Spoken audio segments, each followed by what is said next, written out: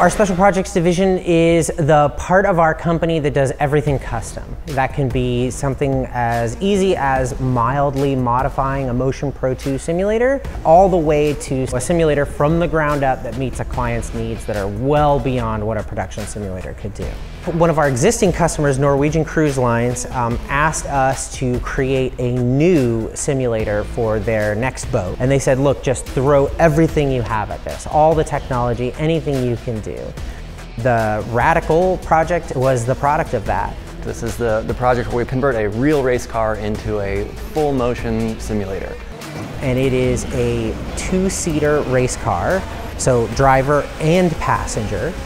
Full motion, has two big, huge stage fans that speed up and slow down depending on how fast the car is going. This is not a, a common request to have a two-seater high-end simulator.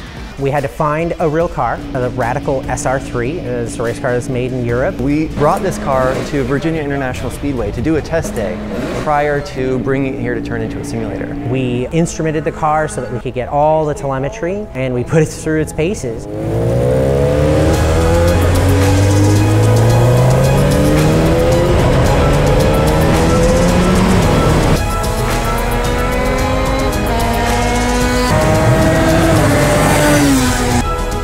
We're using a real race car because it has a telemetry system built in.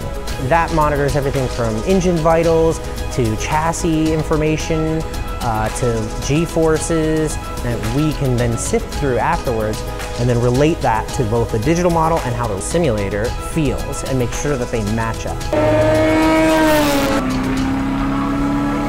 From that, those graphs we can see how many g-forces the car will experience. We have all the data for the engine in the car, for the, the, suspension, the angle of all the suspension arms, the damping of the shocks. And once we finish with that, we ship the car back to us, tore it completely apart all the way back down to the bare frame. We rebuilt it with a full integrated motion system, all the computers, because multiple computers that are running this, all built into the engine bay where the engine used to be. Installed the seatbelt tensioners, controls, redid all the body work, put a new wrap on it, and then built a touchscreen control system for it. And then all the software involved in controlling multiple computers, making sure that the passenger could see what the driver was seeing, everything was synced perfectly, yet as easy to use as an operator can walk up to it, choose track, press go, and it just runs. It is not just a model of that kind of car, it is literally a model of that exact car. It's the whole package. The fact that the car moves, the suspension moves just like a real car would, the fans are tied into the speed of the car. So as a thing that we've done as a company, it's one of the best. It's by far the closest you can possibly get with a simulator. It really recreates the violence of this type of race car and the almost sheer terror of driving a car that quickly and being that exposed in an open cockpit car.